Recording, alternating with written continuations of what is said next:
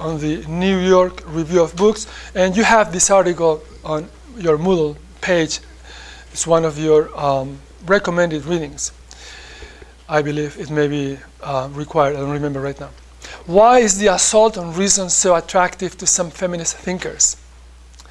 Four reasons I believe can be offered for this. Uh, then she goes on to say, first, these feminists, these feminists, like many other critical social thinkers, have been influenced by French theorist Michel Foucault. Remember Michel Foucault that we talked about last time?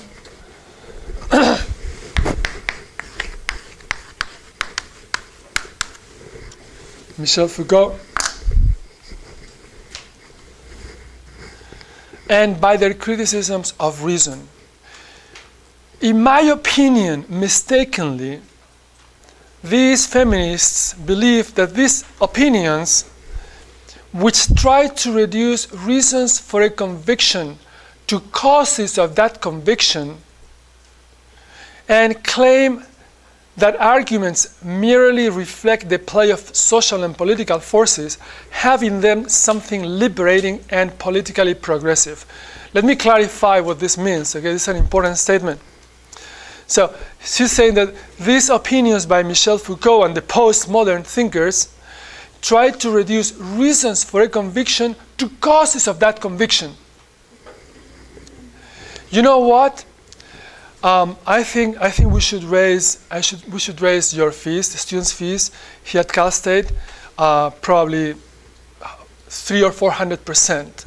And the reason is that we teachers need to get a better salary so as to offer you a better quality teaching. It's for your good. It's really for your good that we raise your fees, and we should raise them, you know, double or triple them for next year.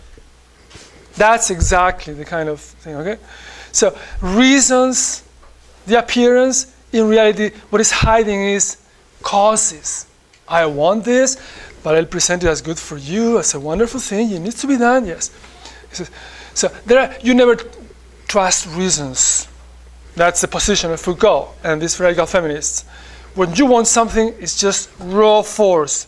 If you're stronger than me, then your arguments are better than mine. If I'm stronger than you, then my arguments are better than yours. But the arguments themselves don't count. That's the idea. But this, this feminist, Martha Nussbaum, is critical to that position, okay? And so his, this, this, this opinions that, that reduce reasons to conviction, sorry, reasons for a conviction to causes of that conviction, and claim that arguments only reflect the play of so, social and political forces, the radical feminists believe that this has something liberating and progressive. But one might argue that if argument is to depend on the play of forces, the weaker will always lose. If reasons and arguments don't have any power, it's just raw force, what's behind that matters, then the weak will always lose. And the radical feminists would say, right, you got it right. That's what happens, right? What the weak seem to require is a situation in which reason prevails over force and is given special respect the radical feminists would say, oh, how nice, how lovely. But it doesn't happen that way. Now, the radical feminists and the postmoderns might now reply that, as a matter of fact, this never happens. And it is liberating, at least, to recognize this fact. But to this, one should say that this is false, that this is mistaken, and that to make such dire claims as if they reflected inevitable truth is likely to make them come true. So her position is that if you keep saying that, that arguments don't count, that all that matters is how much power you have, you're going to make that come true because people are not going to believe about, argu about arguments anymore, and they're just going to say, how many people do I have on my side? More than you, then I'm right. Well, these ideas have had an impact on minorities uh, during the 60s and 70s and 80s and even today, and I would say a, a, a positive impact because the fact is those with power have always found ways to justify the oppression of others, whether racial minorities or women or gays or something. And when these minorities have finally said, well, look, yeah, we listen to, we've listened to your reasons, but your reasons always say we are under here and you're up there, and we're not going to take that anymore. And so we have our own reasons. Well, they follow this, this Foucaultian process, and, and it's been liberating for them. Uh, this feminist disagrees as to the, taking it to the very extreme as the radical feminists do. Okay? Now, second, feminists working in philosophy note that the philosophical tradition has existed alongside patriarchal and oppressive institutions. And then they mistakenly conclude that the philosophical tradition is to blame for these abuses. And her third and fourth arguments against the radical feminists are pretty much an elaboration of this point.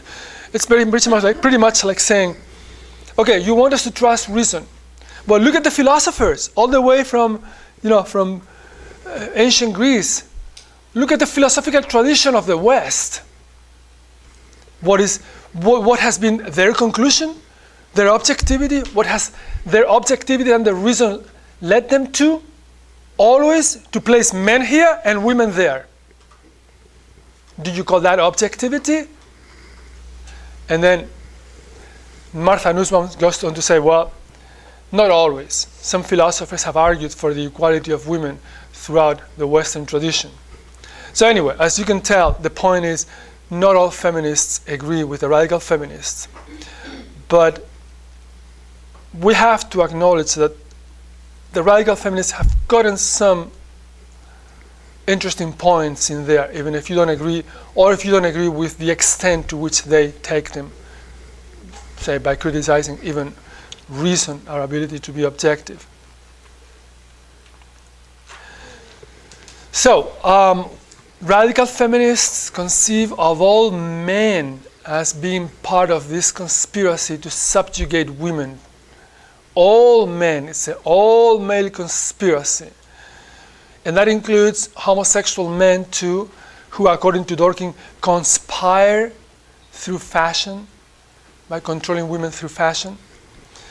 And it, encompasses um, also pacifist men, or doesn't matter how nice you may be, if you're a man, you are part of the conspiracy. However, there is at least one man who has been acknowledged to be a radical feminist. At least one. John Stoltenberg.